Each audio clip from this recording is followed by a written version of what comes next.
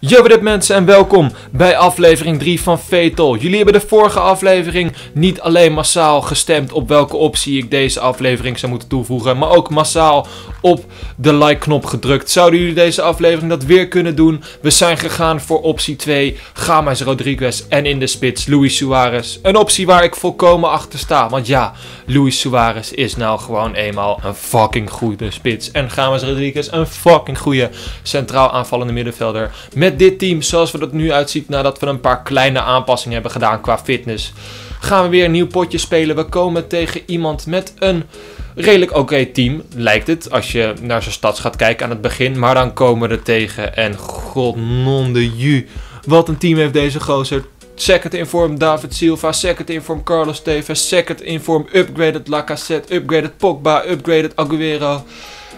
En dan lijkt het toch wel op een redelijk moeilijk team. En dat het een redelijk zwaar potje gaat worden vandaag. Desalniettemin blijken onze zilveren spelers erg veel waarde toe te voegen aan het team. Luis Suarez is er een soort van door. Bal wordt onderschept en mijn tegenstander paast de bal perfect in Wellington Silva's voeten. Die bedankt mijn tegenstander, schiet de bal erin waardoor we 35.000 coins in de plus staan. Maar zo'n tegenstander als mijne met zulke goede spelers gaat natuurlijk niet zomaar opgeven. Carlos Tevez, prachtig header, maar Barbosa ik kan oprecht zeggen, de beste zilveren keeper van het spel. Weet goed te redden. En ook vanuit de corner staat Barbosa, onze capitano, weer goed op te letten.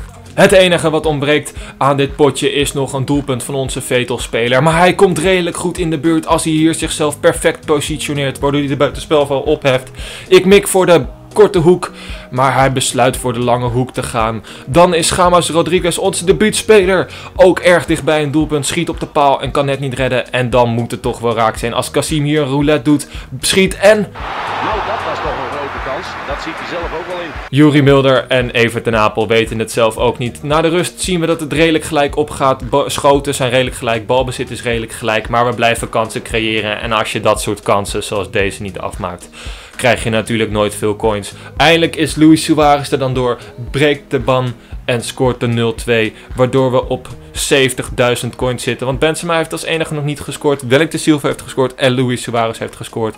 Maar op het moment dat mijn tegenstander besluit te rage quitten, krijgen we er weer 50.000 coins bij. En zitten we na deze wedstrijd op het mooie bedrag van 120.000 coins.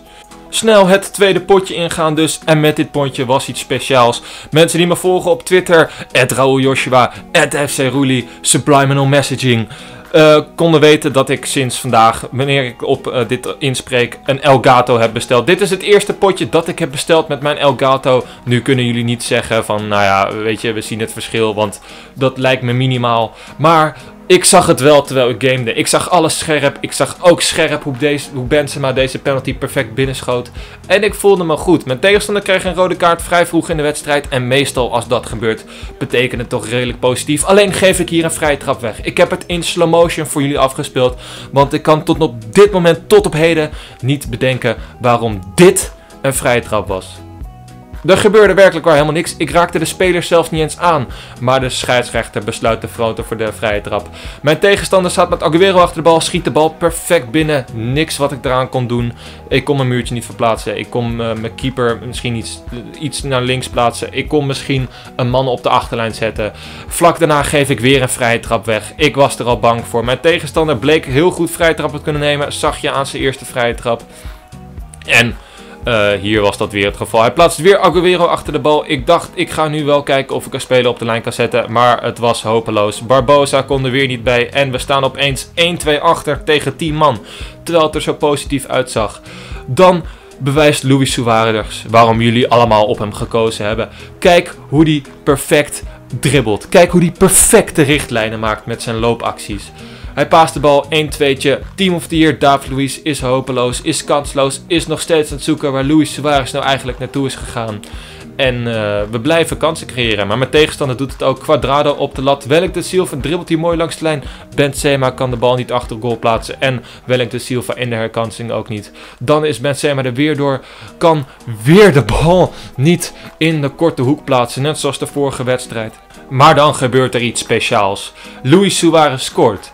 Hoe scoort Luis Suarez? Luis Suarez scoort met een kopbal. Was dat bedoeld? Nee, totaal niet. Ik zag de man aan de rechterkant vrijlopen. Ik drukte op I, waardoor Luis Suarez een dieptebal zou moeten geven. Ik zeg ze moeten geven omdat hij dat dus niet deed. Je zag wel de animatie die hij probeert te maken met zijn voet. Hij, hij, hij, hij snapte dus dat ik op ei drukte en hij steekt zijn voet uit omdat hij die paas wilde maken. Maar in plaats van dat hij die paas maakt, belandt die bal op zijn hoofd. Sirigu maakt zelfs een uh, bucking omdat hij dacht dat Luis Suarez die dieptebal ging geven. Uh, classic FIFA fucked up momentje.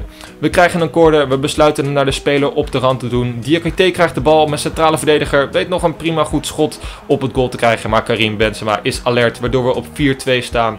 100.000 coins in totaal. Twee keer Suarez, twee keer Benzema, twee doelpunten tegen. Je kan zelf het rekenwerk doen. We zitten dus uiteindelijk na het eerste potje en dit potje bij elkaar opgeteld op het bedrag van 220.000 coins. Ik wilde met dat bedrag in ieder geval één ding doen. Ik wilde mijn middenveld en mijn verdediging versterken.